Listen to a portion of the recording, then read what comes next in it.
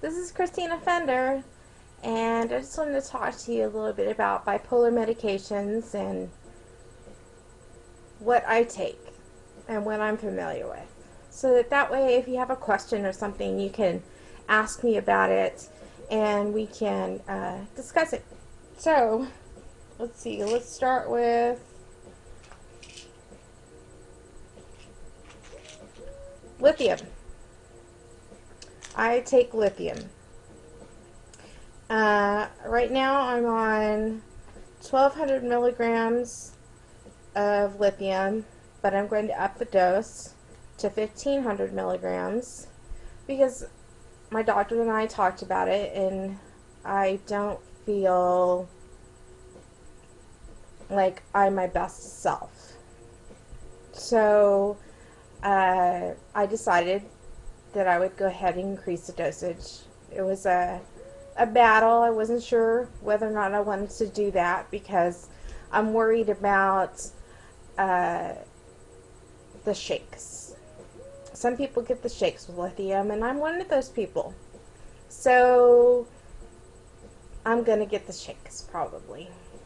But I think it's a small price to pay for getting to live a better life. So, anyway, let's see what else do I take. I take uh, Geodon. It's, uh, I was on, I'm taking right now 60 milligrams. And I was taking at 1.3 of them. So, uh, but I decided to decrease it because of the shakes that I was having. I think sometimes when you take medications, they kind of mix together and the side effects from each of them can get a little worse. So I think that this affected my lithium and so I decreased it and the shakes decreased. So it'll be interesting to see what what happens when I increase my lithium. Uh, I have until recently, last month or so, I got off Pristiq. And Pristiq,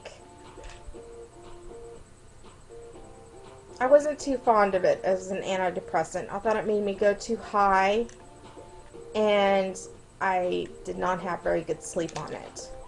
So, next time I get depressed, which will be in July, uh, I'm sure, because of my pattern, uh, I will definitely be going back to Prozac. I have uh, Xanax, also known as alprazolam, and I take it for anxiety. If I'm really, really anxious during the day, I'll take it, but I have to be really, really anxious for me to take it because I just don't like to take it. Not that there's anything wrong with it, I just like to take as little drugs as possible. And it seems like they're always increasing as as I get older. Uh, then I take Ambien. And this is a must-have because I want to sleep. And I can't sleep without it. So, there you go. Those are all my medications. And, uh, if you have any questions about them, let me know. I've taken Seroquel, Zyprexa, Prozac, um, what is the other anti-anxiety medication? Ativan. Uh, I've taken Depakote. I've taken. Did I say Seroquel already?